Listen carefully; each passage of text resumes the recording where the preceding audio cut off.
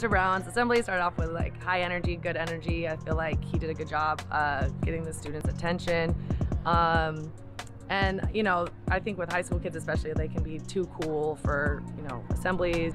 Um, but I think he did a really good job like pulling them in and actually like buying into the idea, um, which can be hard because, like I said, they're just kind of difficult sometimes. But um, he grabbed their attention right away um, with some of the humor, some of the jokes, and the, excitement and the energy. Like when you started doing the games and stuff is really when you got got their attention, and I think that kind of got them excited and um, buying into the idea. And then uh, yeah, they really started I think like, getting into it, and they they I think they heard the message, and hopefully we'll see some changes out here. Yeah, I think it's really important to do um, the assemblies because even if you can't get all the kids right, you'll you'll definitely there are some out there that will hear it right and actually like really really buy into it and um, it's still important because if, if, you can grab a couple of them right then this they'll be followers they can lead the way and um, at least get a couple other kids on board and slowly but surely spread spread the positivity one thing i took away was um, as a teacher right like sometimes um, especially given my age you know, I see it and sometimes I'm like, I'm not the one who steps up and says something. Yeah, just be a better, kind of better role model in that sense. Um, like use my